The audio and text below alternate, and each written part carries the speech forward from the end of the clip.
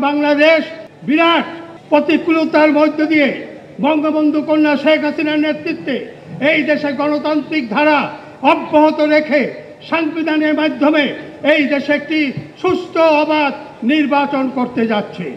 এই প্রতিকূলতা শুধু জাতীয় নয়, জাতীয় আন্তর্জাতিক যে সমস্ত ষড়যন্ত্র, সব ষড়যন্ত্র উপেক্ষা করে আজকে শেখ হাসিনার নেতৃত্বে এই দেশের ছাত্র, যুবক, জনগণ যেভাবে ঐক্যবদ্ধ হয়ে তার সেই তেজস্বী ভূমিকা নেতৃত্বকে সাহস জুগিয়েছে, শক্তি জুগিয়েছে, সমর্থন দিয়ে শেখ হাসিনার নেতৃত্বে এই দেশের মানুষ এগিয়ে যাবে, এগিয়ে যাচ্ছে।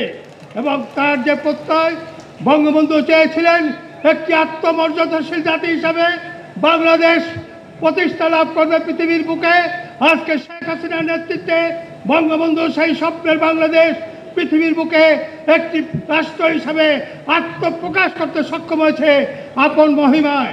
এবং এইটা করতে গিয়ে পৃথিবীর হাতে গোনা কয়েকজন রাষ্ট্রনায়কের মধ্যে শেখ হাসিনাও তার নিজেকে অন্যতম রাষ্ট্রনায়ক হিসাবে প্রতিষ্ঠা করতে সক্ষম হয়েছেন। আজকে তাই আমি বলতে চাই, যেহেতু ছোট দেশ, বড় নেতা, ষড়যন্ত্র হওয়া স্বাভাবিক এবং এইটাই ঈর্ষা কাতলের মধ্য দিয়েই এই জিনিসগুলি হচ্ছে বলে আমরা মনে করি। তাই আমরা মনে করি আজকে জনগণ যেভাবে নির্বাচনমুখী, আজকে যেভাবে নির্বাচনের দিকে এগিয়ে এসেছেন ইনশাল্লাহ আগামী সাত তারিখের নির্বাচনের মধ্যে দিয়ে আবার এই দেশের মানুষ তাদের আশা, আকাঙ্ক্ষা, স্বপ্ন পূরণের জন্য শেখ হাসিনার নেতৃত্বে একটি আবার নতুন সরকার পাবে এবং সেই সরকারের মধ্যে দিয়ে অসমাপ্ত কাজগুলি সমাপ্ত করার মধ্যে দিয়ে বঙ্গবন্ধু সোনার বাংলা প্রতিষ্ঠা লাভ করবে। এবং তার জন্য এই এলাকা থেকে যাকে মনোনয়ন দান করা হয়েছে, সংগ্রামী নেতা, আওয়ামী লীগের যুগ্ম সাধারণ সম্পাদক বাহাউদ্দিন নাসিম, আমি মনে করি আপনাদের অত্যন্ত সুপরিচিত প্রত্যেকটি আন্দোলন সংগ্রামে তারা আপনাকে, তাকে পেয়েছেন, তাই তাকে জয়যুক্ত করার মধ্য দিয়েই হবে আপনাদের আন্দোলনের সফলতা। আগামী নির্বাচনে বাহাউদ্দিন নাসিমকে নৌকা মার্কায় ভোট দিয়ে আপনারা জয়যুক্ত করবেন।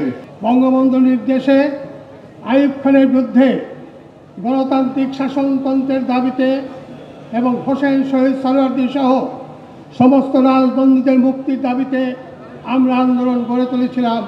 শেখ ফজলুল মনি সে আন্দোলনের পুরোধা ছিলেন। তৎকালীন পূর্ব পাকিস্তান ছাত্রলীগের সাধারণ সম্পাদক হিসাবে তিনি ছাত্র সংগ্রাম পরিষদ গড়ে তুলেছিলেন। তখনকার ছাত্রীদের সাথে এবং সেই আন্দোলন সারা দেশে উৎস্ফুলিঙ্গের মতো দাঁড়া বেঁধেছিল। সর্বপ্রথম এই দেশে আয়ুব বৃদ্ধি সামরিক শাসন, বৃদ্ধি আন্দোলনের মূল নেতা ছিলেন শেখ ফজলুল মনি